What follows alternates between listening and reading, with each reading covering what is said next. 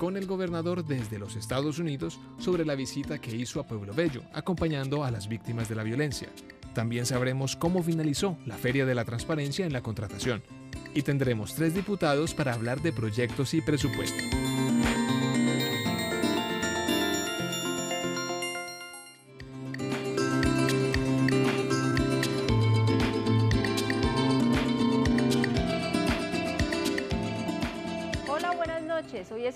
Y como cada semana tenemos un espacio aquí en Teleantioquia, mi canal, para hablar de Antioquia, la más educada.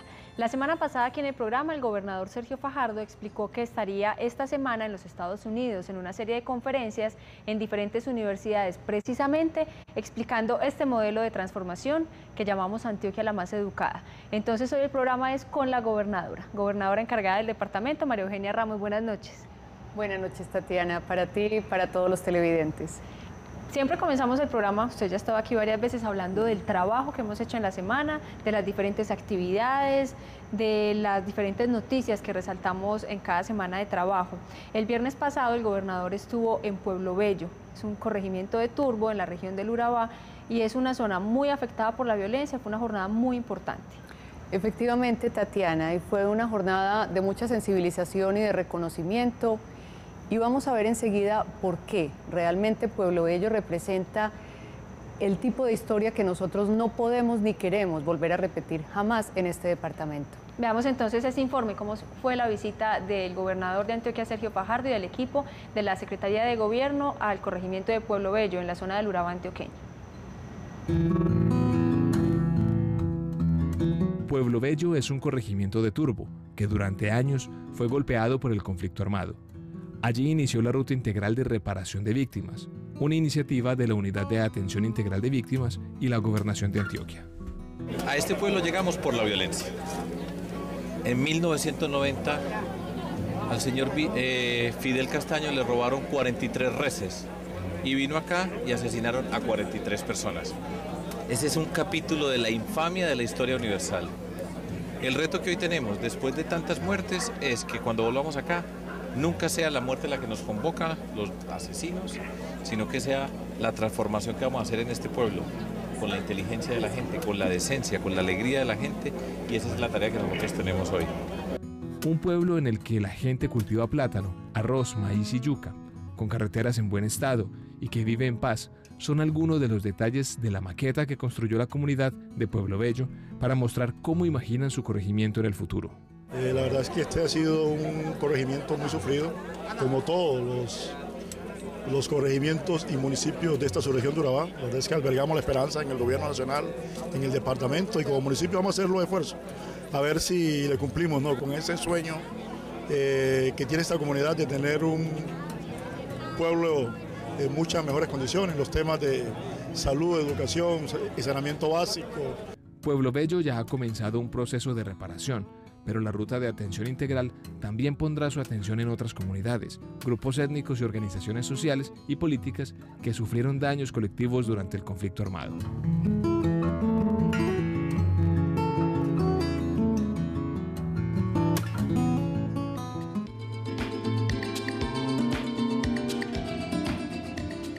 Historias que no se pueden volver a repetir, pero procesos de reparación y atención a las víctimas que sí son fundamentales en el departamento. Pero no solamente eso, también recordemos que la Secretaría de Gobierno tiene como uno de sus pilares fundamentales en este plan de desarrollo Antioquia la más educada, lo que ellos han denominado la reincorporación de las víctimas a la sociedad civil. Y es un proceso muy bonito en el que ellos dan inicio a través de esta experiencia de Pueblo Ello, diciéndole a la gente, cada uno de ustedes inicia sus procesos de reparación como víctimas, pero también inicia nuevamente su tránsito a volverse un ciudadano, con todos sus derechos, obviamente también con todos sus deberes, pero vuelve a ser parte de esta sociedad civil como nunca debieron dejar de serlo. Vámonos a otro municipio de nuestro departamento, viajemos a San Carlos. Hay buenas noticias en esa localidad. Vamos a San Carlos. Se trata de un premio que recibió precisamente la localidad por ese trabajo que están haciendo por los habitantes del municipio y aquí siempre se ha dicho, en Antioquia la más educada, los alcaldes deben ser estrellas, estrellas de su localidad. El gobernador Sergio Fajardo incluso insiste en que deben ser las personas más importantes o son las personas más importantes del municipio. Pues ya tenemos la videollamada con la alcaldesa de San Carlos, la dejo gobernadora para que hable con la alcaldesa María Patricia Giraldo. Alcaldesa, buenas noches. Muy buenas noches. Es un gusto, alcaldesa, tenerla nuevamente en este espacio. Usted ya ha estado aquí con el señor gobernador, pero nuevamente es un gusto. Alcaldesa. Sí, muchas gracias, sí. Cuéntenos cuál fue el premio que le otorgaron al municipio de San Carlos y por qué. Sí, el municipio de San Carlos recibió el premio Expo Innovación 2011-2012 precisamente por la implementación de la política pública de juventud. Eh, esto es como la Federación Nacional de Municipios entrega año por año eh, estos premios de las buenas prácticas municipales que tienen los gobernantes. Entonces, debido a ese trabajo juicioso, articulado, que viene haciendo la administración municipal con toda nuestra juventud, eh, se hizo pues acreedor el municipio, fuimos a recibirlo a la ciudad de Bogotá en, meses pasados. Pues alcaldesa, muchas felicitaciones. Es un gusto tener en Antioquia estos reconocimientos, de manera particular para usted, que ha sido una mujer que ha tenido muy claro su compromiso con su municipio. También contemos, alcaldesa, que aparte del municipio de San Carlos, hubo otros dos municipios en Antioquia que también fueron premiados por la Federación Colombiana de Municipios, que fueron Turbo y Guarne, y cada uno de ellos también por procesos de participación en diferentes etapas dentro del plan de desarrollo. Entonces, alcaldesa, muchas felicitaciones nuevamente, es un gusto tenerla en este espacio y siempre será bienvenida. Muchas gracias a ustedes y saludes al gobernador y vamos, estamos trabajando de manera muy articulada para que San Carlos también sea eh, la más educada. Gracias. Buenas noches, alcaldesa. Muchas gracias a usted por estar con nosotros y un saludo para todos los habitantes de San Carlos. Ya lo dijo, trabajo articulado, compromiso con Antioquia la más educada y eso sí que lo hemos repetido aquí en el programa porque se ha visto ese trabajo de los alcaldes con la gobernación de Antioquia. Pero Tatiana, además, porque siempre hemos partido de una premisa fundamental. Tú lo reconocías nuevamente, son los alcaldes y alcaldesas las estrellas, pero además son ellos realmente quienes están en el territorio. Nosotros coadyuvamos, nosotros apoyamos, nosotros definimos algunas políticas de acuerdo con nuestras competencias, pero son los alcaldes y las alcaldesas en sus municipios y desde el territorio quienes realmente nos ayudan a implementar Antioquia la más educada. El próximo martes 2 de octubre tendremos una noticia muy importante para todo el departamento. Haremos un recorrido maratónico, estaremos en cinco regiones donde se comenzarán cinco licitaciones para el mejoramiento vial. Hablamos con el secretario de Infraestructura, Mauricio Valencia, nos explicó en qué consiste todo este proceso. El martes 2 de octubre, la Secretaría de Infraestructura de Antioquia recorrerá cinco lugares del departamento, en donde se inician obras de mantenimiento vial. La maratónica jornada muestra cómo marcha el plan de recuperación de las carreteras antioqueñas. Podemos anunciar que en Antioquia en los próximos siete años vamos a tener una intervención histórica para recuperar todo ese atraso vial que tiene el departamento desde el punto de vista de infraestructura vial. Estamos hablando de una inversión de más de 18 billones de pesos en los próximos 7, 8 años y eso lo vamos a hacer de manera progresiva. Por el aire, el gobernador y parte del gabinete departamental irán hasta los puntos en donde comenzarán las cinco obras. A las 7 de la mañana vamos a estar en San Pedro de Urabá, a las 9 de la mañana vamos a estar en Liburina, a las eh, 11 y media de la mañana vamos a estar en Puerto Nare, a la una y media de la tarde más o menos en Nariño y a las 3 de la tarde vamos a estar en Montebello. Hacen parte de una serie de licitaciones que ya adjudicamos, que están alrededor de un valor cercano a los 30 mil millones de pesos en todas las subregiones del departamento. Y ese es un plan de intervención bien importante.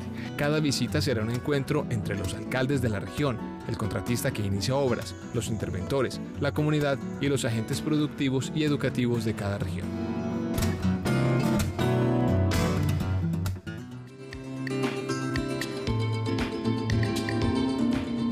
Será un recorrido maratónico. Aquí en la pantalla, gobernadora, tenemos precisamente esos cinco puntos, con la hora exacta en la que se estará en cada municipio. Pues Tatiana, realmente empezamos en Urabá, en Pueblo Bello, fuimos a Oriente, a San Carlos y ahora estamos hablando de recorrer cinco subregiones del departamento el próximo martes. Dentro de estas cinco subregiones, lo que queremos evidenciar es, en una reunión en cada una de ellas, con los alcaldes, la comunidad, los contratistas, los interventores, dar un inicio formal a las obras de intervención vial que vamos a cometer en cada una de ellas. ¿Qué queremos nosotros? Que toda la comunidad ponga sus ojos en estos proyectos, que nos ayuden, que nos apoyen haciendo unas veedurías muy cercanas, los alcaldes, Nuestros contratistas tienen absolutamente claro que la prioridad es que en Antioquia no se puede perder un peso y yo creo que esto va a ser absolutamente exitoso, va a ser una experiencia maravillosa y por eso lo quisimos hacer de esta manera, de manera simultánea. Y algo más que es muy importante, garantizamos con estos contratos y con estos recursos que la malla vial del departamento se va a mantener en unas muy buenas condiciones y aprovechando el fenómeno del niño, algo bueno nos tenía que traer. Claro que sí, comienza a las 7 de la mañana, aproximadamente a las 3 de la tarde, está terminando en Montebello. Buenas noticias que tendremos la próxima semana, pero devolvámonos, hablemos de lo que pasó ayer y de lo que pasó hoy aquí en la ciudad de Medellín, algo que es sin duda sin precedentes para el departamento, pero que ya era una buena noticia en Medellín desde el año 2005, cuando el que es ahora gobernador de Antioquia era alcalde de Medellín. La semana pasada aquí lo estuvimos comentando con Clara Luz Mejía, secretaria general del departamento, y ella nos explicaba en qué consiste toda esta buena noticia de la Feria de la Transparencia. Ejemplo sin duda de participación ciudadana. Sí, como bien lo dices, en el 2005 empezamos siendo el hoy gobernador alcalde de Medellín. Es decir, que para Medellín esta es la Feria de la Transparencia número 8. Para el departamento realmente es la primera, pero con certeza no va a ser la última. De hecho, como seguramente Clara Luz ya lo mencionó, tenemos una ordenanza que gracias a la Asamblea Departamental nos permite garantizar que vamos a tener Feria de la Transparencia todos los años. Hay, dos elementos fundamentales en esta feria. Primero, pues indudablemente el mostrar todo lo que vamos a contratar desde la administración pública, municipio de Medellín, gobernación de Antioquia en el año 2013. Pero también es un proceso donde a través de unas charlas muy pedagógicas se le explica a todas las personas cómo se contrata con el Estado. Hay muchas personas que dicen, es que yo quisiera, pero eso es muy difícil, e, es que eso es muy complicado, tiene muchos requisitos y aquí lo que hacemos es explicarle paso a paso cómo se contrata con el Estado. Algunas cifras de pronto, gobernadora, que usted le pueda entregar a los televidentes para dimensionar la importancia de esta feria de la transparencia en el departamento. Tatiana, en estos dos días nos visitaron más de 3.400 personas. De estas 3.400 personas identificamos que había más de 120 visitantes extranjeros, hay alrededor de 200 personas que vinieron de ciudades diferentes a Medellín también a visitar la feria. Tuvimos unos invitados muy importantes que enseguida vamos a hablar de ellos, pero quiero resaltar de manera muy particular que se entregaron más de 600 formularios para inscripción de proveedores, es decir, personas que bien sea como persona natural o en representación de alguna entidad como persona jurídica, solicitaron el formulario de inscripción de proveedores de la gobernación. Eso es un gran aliciente para que esta feria se siga haciendo todos los años y es un apoyo irrestricto de la comunidad hacia este tipo de eventos. ¿Cómo fue la Feria de la Transparencia por primera vez unidas Medellín y Antioquia? Veamos este resumen. La Feria de la Transparencia en la Contratación tuvo una masiva asistencia por parte de empresarios, proveedores y emprendedores quienes hicieron parte de las rondas guiadas por toda la feria, de la exposición abierta de la contratación, de los planes de adquisición, bienes, servicios y de obras públicas, consultorías empresariales especializadas y de la rueda de servicios de formalización empresarial. Una experiencia como esta busca es precisamente garantizar que la ciudadanía conoce fácilmente qué se va a contratar, cómo se va a contratar, los interesados en participar en lo mismo también puedan saberlo y de esa forma reduzcamos dramáticamente las posibilidades de una discrecionalidad que puede llevar a la corrupción. Es un evento muy importante porque muestra cómo los gobiernos se relacionan con sus ciudadanos y los contratistas públicos, cómo crean espacios para realmente poder eh, fortalecer las capacidades de cada uno para contribuir a que la contratación eh, pública funcione de una mejor manera. Mi nombre es Alex Gil, gerente del grupo ADN Eventos. Hemos venido a visitar eh, esta feria tan importante de la ciudad de Medellín, porque es una feria totalmente incluyente, participativa y que hace que todos los proveedores trabajen mancomunadamente. Hoy en día tienen la posibilidad de participar en muchas licitaciones y ser visto, ser visible, que lo vean a uno y que valoren sus productos o servicios. Y eso es lo importante. Anteriormente eran unos cuantos que se contaban en la mano los que podían acceder a esas contrataciones y a esas licitaciones.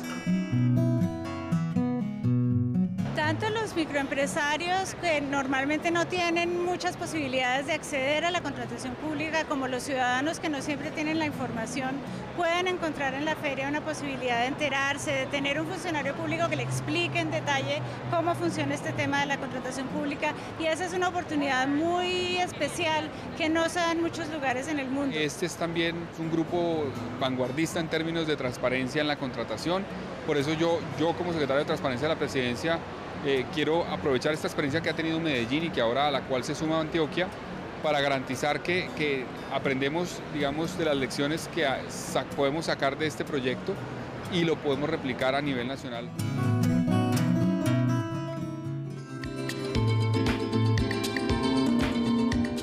Gobernadora, el ejemplo de Medellín es fundamental, pero Antioquia, ¿qué le deja esta primera experiencia? Bueno, segunda, porque se hizo por primera vez en Urabá hace unos días.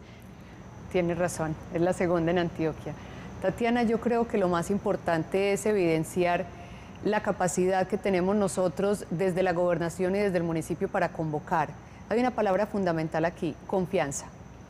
Mientras más tengamos capacidad de exponer, de mostrar, de evidenciar toda la información asociada con la contratación, mayor será la confianza de la ciudadanía en esta gobernación y para nosotros ese es un tema fundamental, es un principio irrenunciable, siempre lo ha dicho el gobernador, en Antioquia no se pierde un peso y esta es una evidencia más de que efectivamente en Antioquia no se va a perder un peso y los ciudadanos van a ser garantes de que eso sea así. Y para nosotros el trabajo es alegría, sin duda alguna, el gobernador siempre lo expresa acá, el equipo de trabajo siempre lo manifiesta y en la Feria de la Transparencia pues no podría ser una excepción. La música hizo toda esa gala de alegría en la Feria de la Transparencia. Vamos a un corte y veamos por supuesto cómo fue esa canción ganadora del concurso en la Feria de la Transparencia.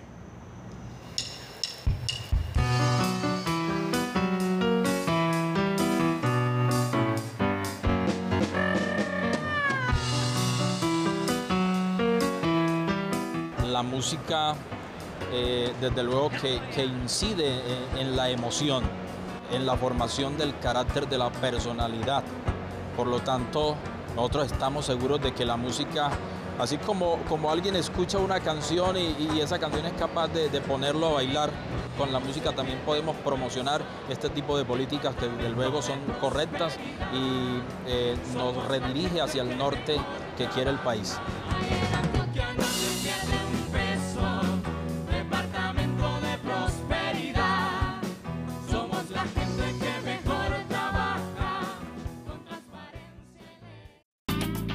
Volvemos con el gobernador.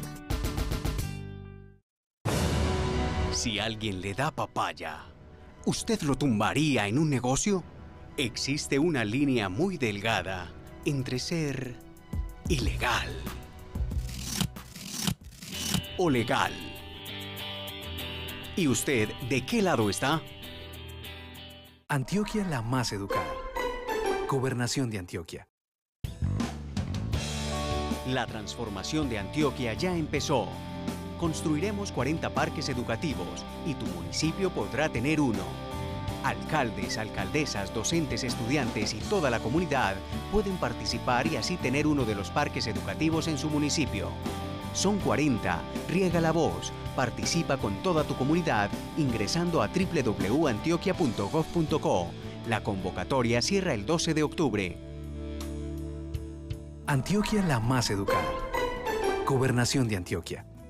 El IDEA se vincula a las Olimpiadas del Conocimiento 2012 con las becas de educación superior para los nueve ganadores de las finales regionales. Hacemos realidad el sueño de desarrollo de los 125 municipios antioqueños. Antioquia la más educada. Gobernación de Antioquia. Señor usuario de celular prepago, antes del primero de octubre, registre su equipo celular en la lista de teléfonos legales. Así evitará posibles interrupciones por los controles que los operadores móviles iniciarán como parte de las medidas implementadas por el gobierno en contra del hurto y comercialización ilícita e indiscriminada de celulares. Actualice sus datos en los centros de atención personalizada o telefónica o a través de la página web de su operador en la opción Registre aquí su equipo. Desde esta misma fecha, usted deberá aportar una prueba de adquisición de su celular para activar, reponer o transferir el uso del equipo.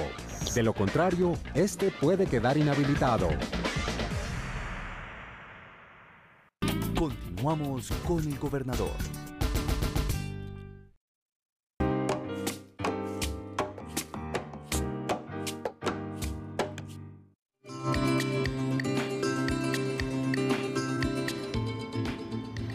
Continuamos hablando sobre Antioquia la más educada hoy con la gobernadora María Eugenia Ramos, gobernadora encargada del departamento. El próximo lunes comienzan las sesiones ordinarias en la Asamblea de Antioquia. ¿Cuáles son esos temas? ¿Por qué es tan importante para nosotros el trabajo conjunto con la Asamblea de Antioquia? Pues gobernadora, tiene invitados para hablar de ese tema.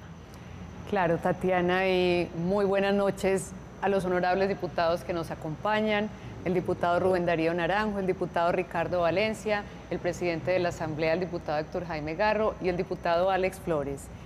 El tercer periodo de sesiones ordinarias de la Asamblea, el último periodo de sesiones ordinarias del año. Pero precisamente, Tatiana, los queríamos invitar a ellos para que fueran ellos quienes nos expliquen a nosotros, a los ciudadanos. Es muy común la pregunta de ¿y qué es lo que hace la Asamblea? Diputado Rubén Darío, muy buenas noches. Bueno, buenas noches, señora gobernadora. Un saludo muy especial. Muchas gracias por estar e invitarnos en este programa excelente para Antioquia. La Asamblea Departamental se presta para iniciar sesiones el 1 de octubre con unos temas muy importantes. El primero, el presupuesto del departamento. Presupuesto que empieza en la comisión de presupuesto de la Asamblea Departamental empieza con unos ponentes, empiezan a estudiarlo, a revisarlo, dan el primer debate, luego va a la plenaria de la corporación en segundo y luego tercer debate en la plenaria también. Se pueden hacer sugerencias por parte de los diputados y donde juiciosamente los 26 diputados siempre hemos estado muy comprometidos con sacar adelante este presupuesto y adicionar con el fin de que se atiendan todas las regiones del departamento de Antioquia, cuál es la inquietud, la sugerencia de las comunidades y apoyar al gobernador para que ese presupuesto sea fiel reflejo de ese plan de desarrollo y de ese programa que él se ha trazado en bien del departamento de Antioquia. Diputado Ricardo, usted ha sido alcalde cinco veces en Angostura.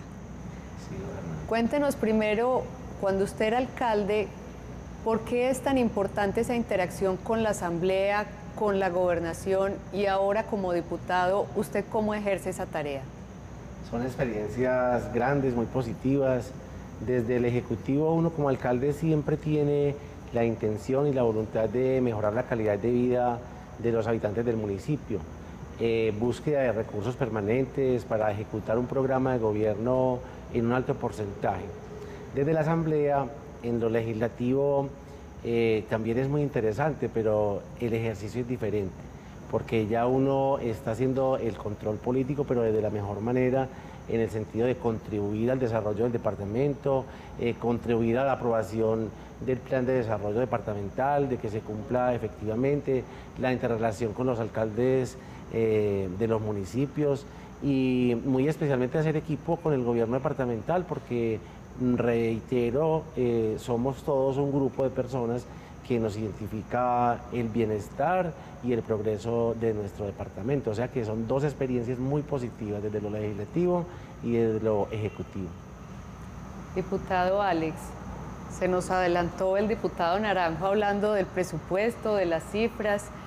Tenemos las cifras más gruesas del presupuesto que vamos a, a radicar en la Asamblea Departamental es un presupuesto que supera los 3 billones de pesos.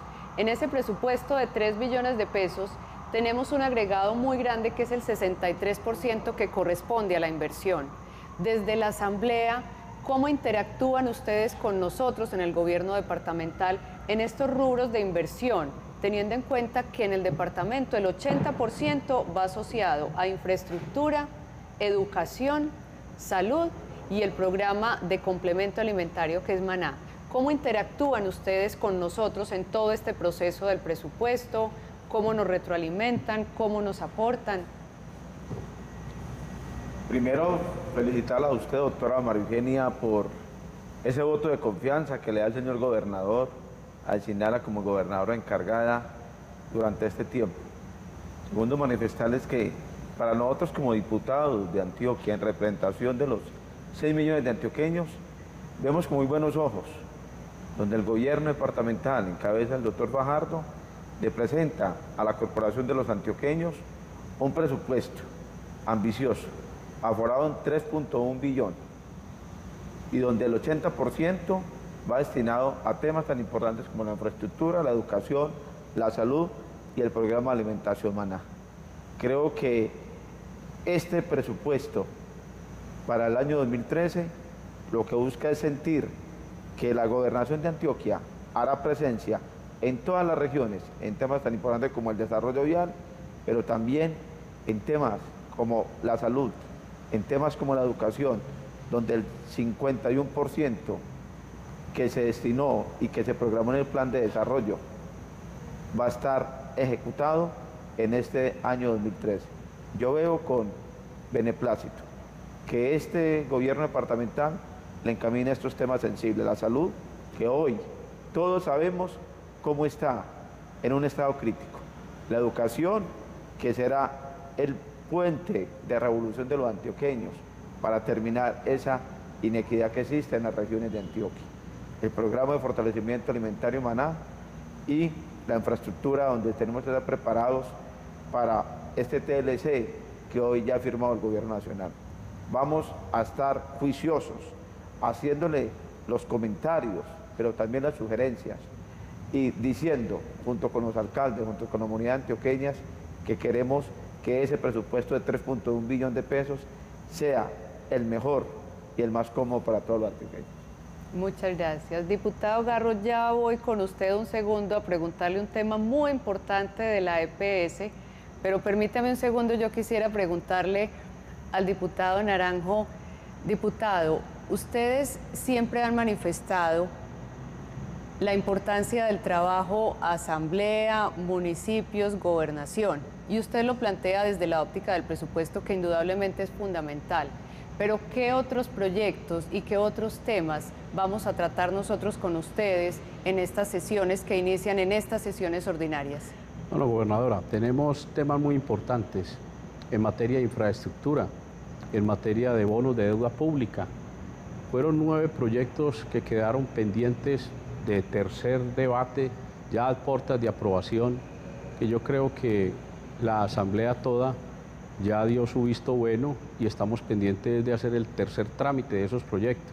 Y los otros dos pues, se van a estudiar, los de bonos de deuda pública y los de infraestructura con el fin de que también salgan adelante, con el fin de que el departamento haga la inversión lo más rápido posible y se rehabiliten las vías del departamento de Antioquia. En la Asamblea Departamental tenemos varias comisiones, por ahí unas nueve comisiones reglamentarias Allí van todos los temas, materia de salud, en materia de hacienda, crédito, en materia de presupuesto, en materia de infraestructura, en materia de paz, en materia de legislación, reglamentación, tenemos la, comisión de códigos. Eh, o sea que en estos dos meses que vienen esa interacción con el departamento, con el señor gobernador, que es la cabeza visible, es el ejecutivo, es quien ordena. Y a prueba de que nosotros vamos a estar, creo que muy integrados los 26 diputados, eh, y una experiencia que tuve con el señor gobernador cuando me invitó inclusive al municipio de Jardín hace pocos días, allá vi y soy testigo, y ese es el testimonio que tengo para todos los 26 diputados, incluyéndome a mí, de que la gobernación viene haciendo un excelente trabajo con la comunidad antioqueña. Y los diputados eso es lo que queremos, apoyar, salir adelante, acompañar al señor gobernador. Eh, vemos, por ejemplo, cómo eh, en el municipio de Jardín se hizo las Olimpiadas del Conocimiento, donde congregó a toda la, eh, la juventud, a todas las instituciones educativas Ahí veía uno los rectores, los jefes de núcleo, los alcaldes, inclusive firmando los pactos por la calidad de la educación, donde se programaron y convocaron nueve alcaldes y llegaron 14. Entonces yo veo que el señor gobernador viene haciendo con todo su equipo de trabajo un excelente trabajo para bien del departamento de Antioquia, una excelente inversión y los diputados no vamos a ser ajenos a ese reto, a ese compromiso. Nosotros también fuimos elegidos popularmente, nosotros también tenemos compromisos con la comunidad y nosotros no vamos a ser inferiores a la historia y vamos a estar ayudando al señor gobernador para sacar adelante todos esos proyectos, todo ese programa de gobierno de Antioquia la más educada. Gracias, diputado. Ahora sí, diputado Héctor Jaime, usted es el presidente de la Asamblea. Hemos venido hablando en el departamento y en el municipio desde hace varios meses de la necesidad de constituir una EPS que pueda atender a toda la población subsidiada del municipio, de régimen subsidiado, perdón, del departamento de Antioquia, que es de alrededor de 2 millones de afiliados. Diputado, ¿Por qué necesitamos esta EPS? Doctora María Eugenia y a toda la audiencia, muy buenas noches, a los compañeros diputados, a Tatiana, nuestra presentadora. La verdad es que el tema de la salud pues, es sensible a nuestra población y tenemos que partir de la base de que hay que reconocerla como un derecho fundamental. Eso ya lleva 20 años de discusión, pero hoy lo tenemos claro y cosas como el paseo de la muerte nos lo demuestran cada día. Que los municipios apartados de nuestro departamento se vean cada día abocados a problemáticas en las cuales la población necesita de una atención, bien sea del primer nivel de complejidad o de niveles superiores, hacen que la reforma en salud de manera estructural sean un imperativo ético para la sociedad colombiana. Mientras tanto, Antioquia la más educada y Medellín un hogar para la vida, en Alianza AMA, han establecido eh, la posibilidad de garantizar la continuidad del aseguramiento en salud. Y esto se hace solo a través de una EPS que tenga la connotación de EPS pública, de EPS mixta, esto es con la participación del sector privado, y allí existiría la posibilidad de aprovechar la experiencia exitosa de dos entidades que en el departamento de Antioquia tienen un reconocimiento y una trayectoria exitosa, como lo son Confenalco y Confama.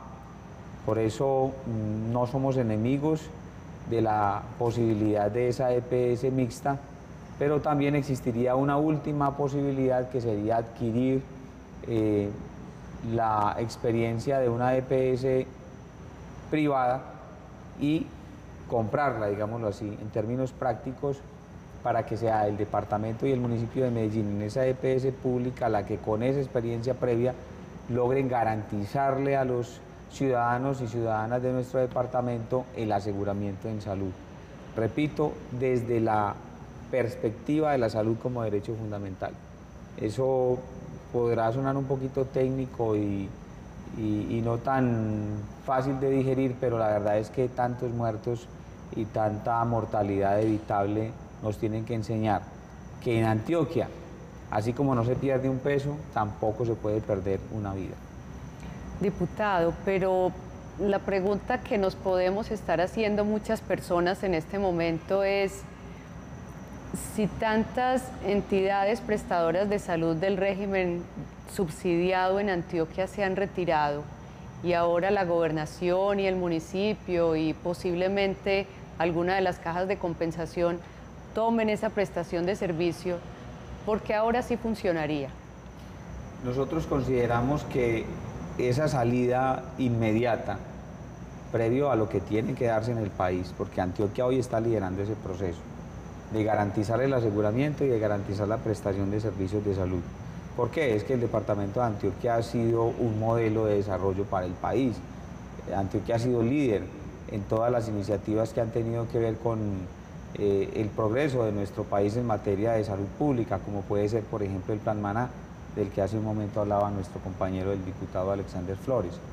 Pero más allá de eso, en lo que tiene que ver específicamente con el aseguramiento y con la garantía del acceso a los servicios de salud, esa posibilidad, primero de evitar que haya la intermediación. Es que el tema es muy amplio y este espacio se quedaría corto para explicarlo desde lo técnico, pero lo que cualquier país de América Latina invierte en salud por cada habitante es inferior a lo que invierte Colombia. El, per cápita en salud. En, alguna parte tenemos unos problemas de economías de escala, de intermediación. Claro. Que habría que entrar a resolver. Sí, señora gobernadora, eso es lo que queremos evitar. Creando una EPS pública o mixta en el departamento de Antioquia, lo primero que eliminamos es la intermediación.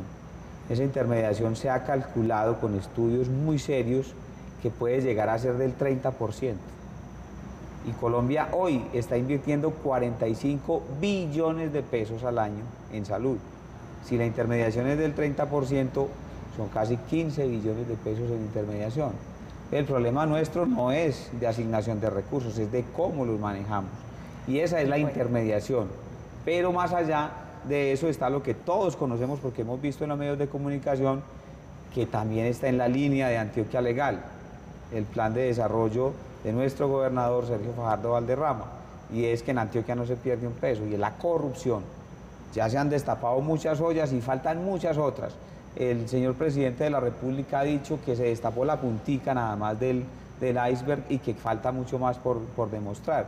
Aquí hay tutelas inexistentes, medicamentos eh, demasiado costosos que nunca se suministraron, demasiadas cosas feas. Toda una historia, diputado. Los recursos públicos, señora gobernadora, ustedes lo han dicho todo el tiempo, son sagrados, pero los de salud son sacrosantos, porque es que es la vida lo que hay de por medio y por eso nosotros en esa apuesta de crear esa EPS eh, en el marco de, la alianza AMA, la alianza Antioquia-Medellín, lo que pretende es básicamente eso, garantizar el aseguramiento, evitar la intermediación y evitar la corrupción.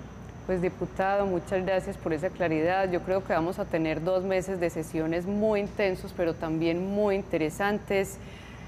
Quisiera hacerle una última pregunta al diputado Ricardo, aprovechando la intervención que hizo ahora el diputado Rubén Darío. Usted nos acompañó también en Santa Rosa el sábado pasado en las Olimpiadas del Conocimiento. ¿Cómo fue su experiencia? ¿Cómo fue su percepción de este evento? Aunque ahora un poco más adelante vamos a hablar de él, pero también desde su perspectiva. Fue maravillosa. Eh, ver los jóvenes de los municipios eh, participar desde el conocimiento a uno lo llena de optimismo porque ellos demuestran cómo se han capacitado en sus regiones, en sus localidades. Eh, Santa Rosa nos acogió con gran entusiasmo, pero ver, por ejemplo, cómo un joven de un municipio que ha sido tan golpeado por la violencia como campamento y fue pionero, entonces a uno lo llena esto de orgullo y es una muestra de que vamos por un buen camino en torno a una Antioquia eh, muy, muy bien educada y donde todos tenemos que ser actores. Yo creo que esa fue la experiencia que nosotros vivimos en el norte del departamento y yo creo que así lo han vivido en todas las regiones y el concepto y la percepción que tenemos todos los antioqueños es de que es una experiencia maravillosa en el tema del conocimiento y del saber. Muchas gracias, diputado Alex. Usted viene de un municipio del suroeste, pero tuvo la oportunidad de formarse, de acceder a educación superior.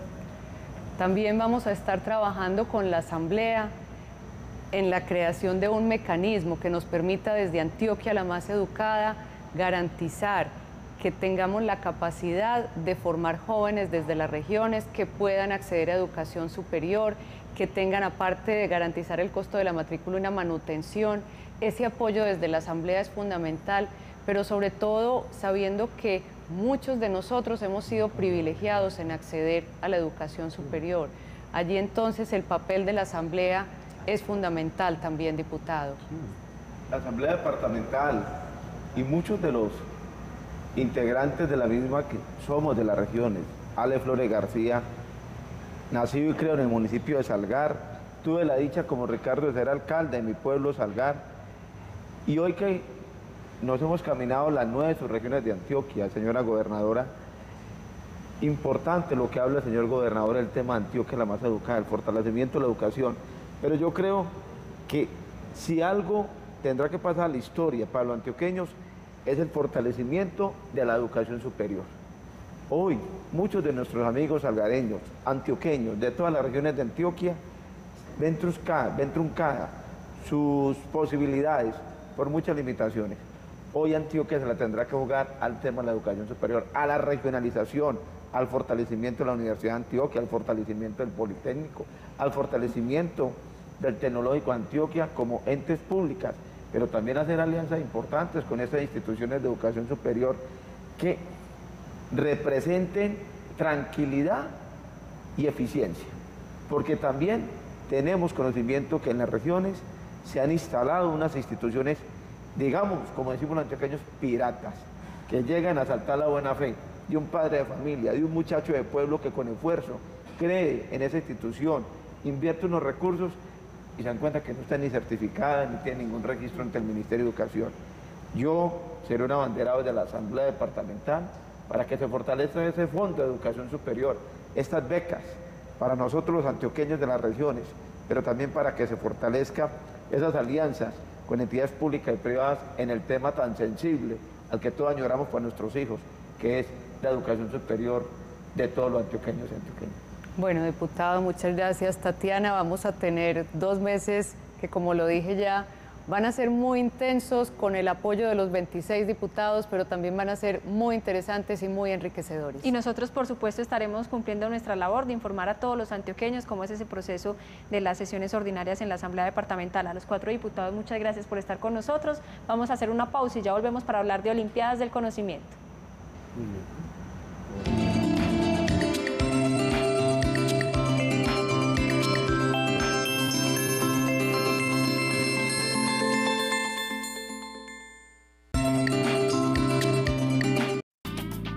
volvemos con el gobernador.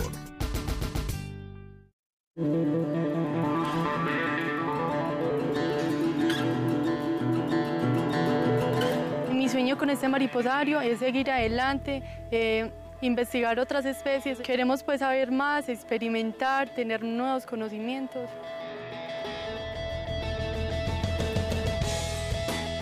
Lo que más me gusta de este proyecto es en mi casa, es con mi familia, no tengo que desplazarme a otros lugares. Les hago una invitación a toda la gente que aprovechen los espacios que tienen en sus fincas y que puedan montar su propio proyecto eh, para que les pueda generar ingresos. Ahora ser emprendedor es posible. La puerta de las oportunidades está abierta. Pásala. Atrévete a emprender. Antioquia la más educada. Gobernación de Antioquia. ¿Usted compraría algo robado? Existe una línea muy delgada entre ser ilegal o legal. ¿Y usted de qué lado está? Antioquia la más educada. Gobernación de Antioquia.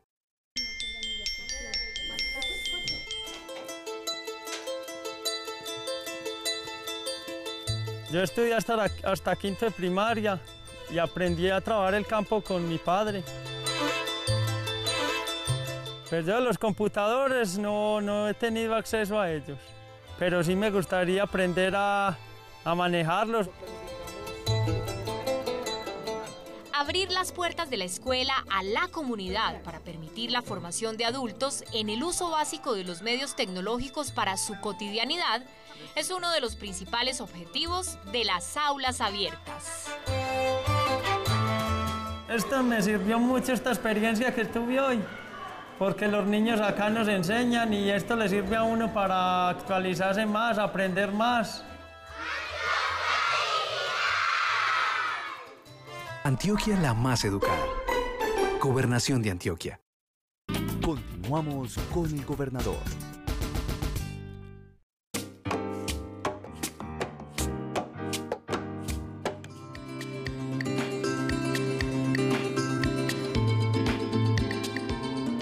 Continuamos hablando de Antioquia la más educada y con un tema que definitivamente nos emociona muchísimo. Cada fin de semana es una fiesta literalmente del conocimiento en las diferentes regiones del departamento. Sí, ya lo mencionaban hace un momento los dos diputados eh, cuando nos han acompañado eh, el diputado Naranjo Jardín, luego el diputado Ricardo Valencia, que nos acompañó la semana pasada en Santa Rosa. Y lo vamos a ver, Tatiana, lo vamos a ver porque es que no podemos dejar de mostrarlo. Esto es una fiesta que nos emociona a nosotros, nos emociona verlo, pero nos emociona mucho más estando allá con la comunidad y con los jóvenes. Sí, esto hay que compartirlo. ¿Cómo fue la cuarta semifinal de Olimpiadas del Conocimiento en el norte de Antioquia, en el municipio de Santa Rosa de Osos? Juan Esteban Orrego Echavarría, estudiante de la institución educativa Nuestra Señora del Rosario del municipio de Campamento, apasionado por inglés y las matemáticas, se convirtió en el cuarto finalista de las Olimpiadas del Conocimiento a ganar la semifinal de la región norte de Antioquia. El concurso realizado la tarde del sábado en el municipio de Santa Rosa marcó una competencia muy pareja. Aunque Juan Esteban comenzó liderando el puntaje, luego fue relegado por sus competidores Solo al final, este joven de tan solo 14 años, que en cursa grado 11, se impuso para lograr un cupo en la final y asegurar su futuro universitario, pues al igual que los otros ganadores regionales, obtuvo una beca del 100% en cualquier universidad del territorio antioqueño, más un millón de pesos semestrales para su sostenimiento. La quinta semifinal de las Olimpiadas del Conocimiento será este sábado 29 de septiembre en Cañas Gordas, occidente antioqueño.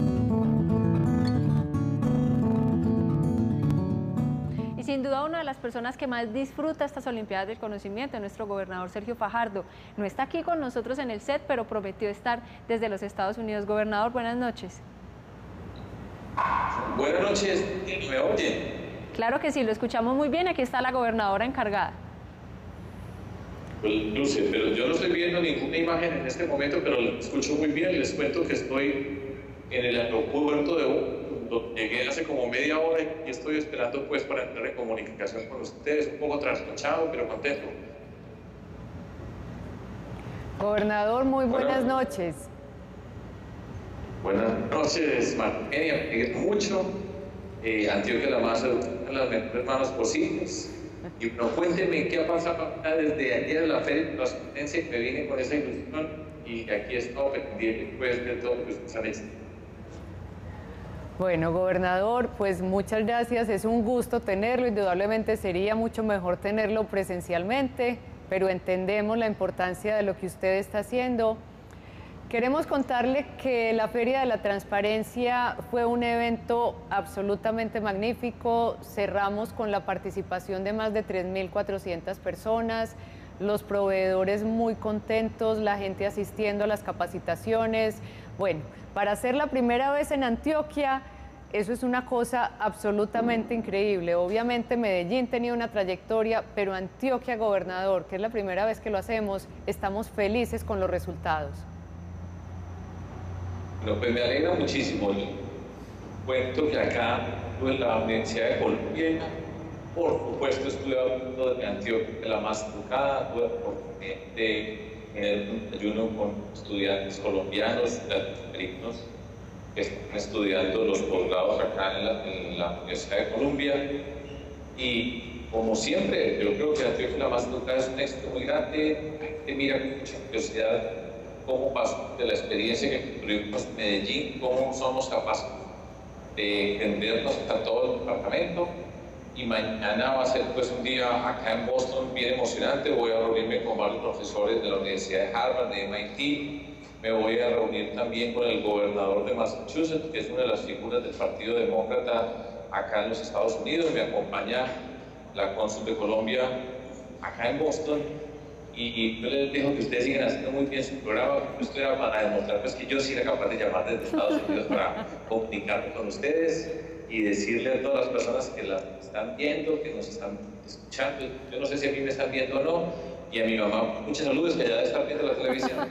Justo pues, buenas noches. Gobernador, muy buenas noches y que le acabe de ir muy bien, regrese pronto. Bueno, hasta luego y gracias. Claro que lo estábamos viendo, lo escuchamos además muy bien pues por supuesto algunas dificultades de comunicación. Está en un aeropuerto en la ciudad de Boston, en Estados Unidos, pero lo más importante fue lo que nos dijo. Está hablando de Antioquia la más educada, de este modelo de transformación que es ejemplo en muchos lugares del mundo. Sí, Tatiana, no se nos puede olvidar que la Universidad de Columbia es una de las principales universidades de Estados Unidos con un gran reconocimiento y el hecho de tener a nuestro gobernador en semejante escenario, hablando de Antioquia la más educada, nos tiene que hacer sentir muy orgullosos y nos tiene que comprometer aún más con sacar adelante este plan de desarrollo tan retador que tenemos. Antioquia la más educada es ejemplo para el resto del mundo, incluso por aquí han pasado muchos alcaldes de diferentes ciudades del mundo. Hoy tenemos visitantes desde México que están precisamente aquí haciendo cursos, capacitaciones. Medellín es ejemplo por la transformación que ha tenido en los últimos años y ahora Antioquia se está convirtiendo en un ejemplo porque eso bueno que pasó en Medellín va a pasar en todo el departamento. Ese es el gran reto que tenemos, pero estamos seguros que lo vamos a lograr. Somos 6 millones de antioqueños, jalando todos para el mismo lado, convencidos de la importancia de adoptar este modelo de Antioquia la más educada y vamos a ser capaces de demostrar que Antioquia, cuando se junta, cuando se une, cuando jalamos todos en el mismo sentido, nadie nos gana. Y precisamente Olimpiadas del Conocimiento es uno de esos granitos de arena que estamos poniendo en esa transformación del departamento. Estábamos hablando de ese tema antes de conversar con el gobernador y ya tenemos llamada. Está con nosotros Juan Esteban Orrego, precisamente otro de los finalistas de las Olimpiadas del Conocimiento. Juan Esteban, buenas noches. Buenas noches. Hola Juan Esteban, ¿cómo estás? Bien, Muy bien, Juan Esteban, muchas gracias. Juan Esteban, la primera pregunta que nos hacemos todos. Tú tienes apenas 14 años y ya estás en grado 11. Cuéntanos cómo ha sido esa experiencia tan joven, estando ya a punto de llegar a la universidad y además ganarte estas Olimpiadas del Conocimiento. No, pues, eh, es una experiencia muy buena que pues he tratado de superarme y poco a poco lo voy logrando. Indudablemente, y eso se nota. Para los otros muchachos de otras partes del departamento que apenas van a empezar a concursar, ¿tú qué les dirías? ¿Cómo deben prepararse? ¿Qué deben estudiar? ¿Qué les dirías tú? Bueno, pues un consejo que les doy antes de responder las preguntas es que estén calmados. Eh, pues a ver, en las preguntas de español, que no se apresuren a leer, escuchen como lee el jurado en cambio, en las preguntas de matemáticas, que mientras el jurado va leyendo, vaya resolviendo los... No te escuchamos la última parte de las preguntas de matemáticas. ¿Nos repites, por favor? Bueno, eh, pues un consejo que les doy a las preguntas de matemáticas es que mientras el, el jurado va leyendo, eh, se vayan haciendo, pues vayan resolviendo los ejercicios porque así pueden ganar segundos y pues pueden obtener más fácil los 10 puntos. Bueno, Juan Esteban, pues es un gusto, es un orgullo. Hace un momento estábamos con uno de los diputados que es de la región del norte y él decía que el hecho de que tú, viniendo de Campamento, que ha sido un municipio tan golpeado por la violencia, te hubieras ganado estas Olimpiadas, también es una ratificación de que en Antioquia, la más educada, tenemos unos valores muy importantes en todas las regiones, tenemos personas que como tú demuestran que Antioquia, la más educada, es la ruta que tenemos que seguir en estos cuatro años y no permitir jamás que la violencia vuelva a nuestras ciudades, a nuestros municipios y a nuestras regiones. Juan Esteban, muchas gracias, que tengas una feliz noche y sigue así, sigue siendo un ejemplo para todos nosotros y para los demás jóvenes del departamento. Bueno, muchas gracias. Yo me imagino que los que estaban ahí con Juan Esteban son parte de su familia y creo que para Juan Esteban y para la familia pues cambió la vida. Tener ya una universidad asegurada, poder estudiar la carrera que quiera, es como decir que el futuro de Juan Esteban ya está limpio para que siga su camino de la educación. Tatiana, una de las cifras que más me ha impactado de lo que he escuchado recientemente es que se estima que Medellín en el año 2030 va a tener 2.800.000 habitantes, lo cual prácticamente haría colapsar la ciudad si nosotros no somos capaces de darle oportunidades a nuestros jóvenes en las regiones para que ellos permanezcan, que tengan oportunidades, que tengan un proyecto de vida en las regiones, esa pesadilla de colapsar la capital del departamento no pareciera estar tan lejana. El reto nuestro, el reto de todos los antioqueños es que jóvenes como, Juan Esteban tengan la oportunidad de formarse, de tener acceso a una educación superior de calidad y vuelvan a sus municipios y a sus regiones a trabajar por ellos y garantizar entonces que mejoramos las condiciones de equidad en todas las regiones del departamento. Por eso seguimos abriendo la puerta de las oportunidades y nos vamos para otro municipio. Este fin de semana estaremos en el occidente.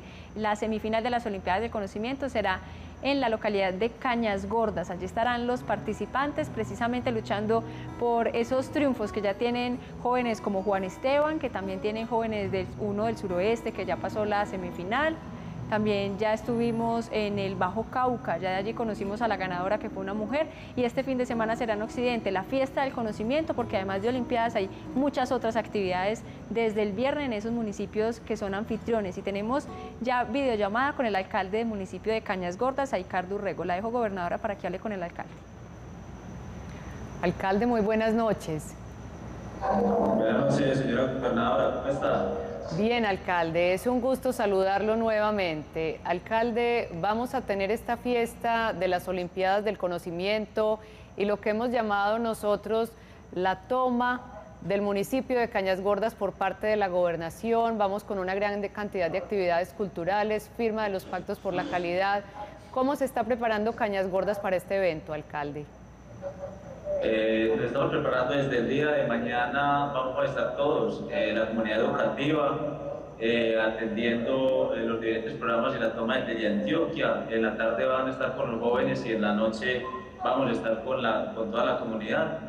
Y el día sábado, lógicamente, vamos a estar muy atentos a la firma de esos pactos de la calidad de la educación de los municipios de los siguientes que faltan. Y, por, y en la tarde vamos a estar en ese gran evento de las finales de la Olimpiada del Conocimiento donde esperamos que, que, sea un éxito para Antioquia, para, para Cañas Gordas del Occidente y lógicamente para seguir trabajando en ese programa de Antioquia la más educada, en este caso Cañas Gordas la más educada. Sin duda, alcalde, que va a ser muy emocionante. Alcalde, una pregunta. Las personas claro. que van a Cañas Gordas, ¿por qué van? ¿Por qué es importante? ¿Qué vamos a conocer? ¿Qué tenemos en Cañas Gordas para decirle a la gente, vamos a Cañas Gordas que nos estamos perdiendo de nos falta conocer. ¿Qué nos falta, alcalde?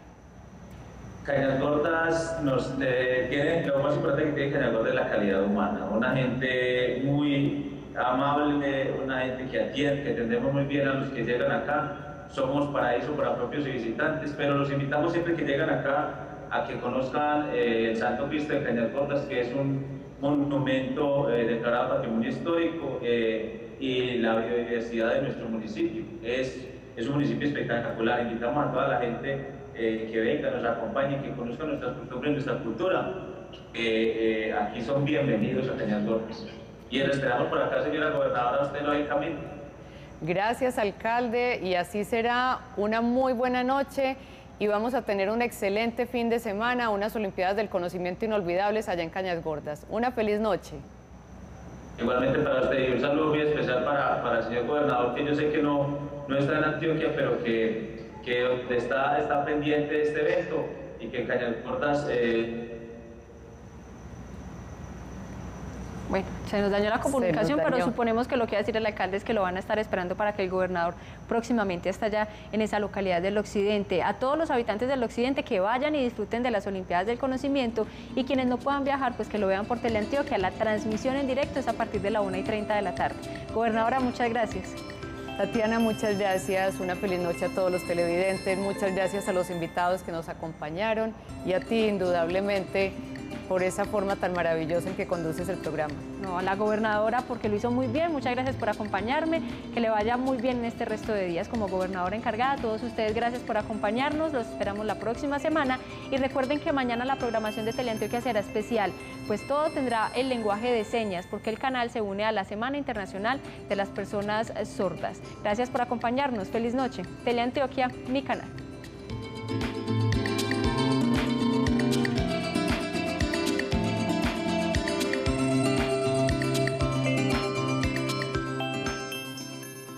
Antioquia la más educada. Gobernación de Antioquia.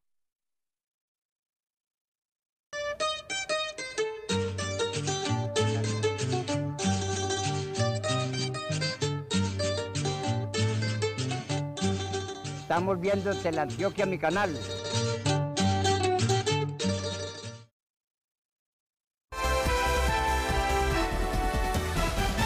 Este avance informativo es patrocinado por